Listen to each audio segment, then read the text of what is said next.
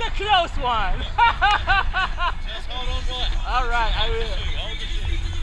I love this shoe. uh, I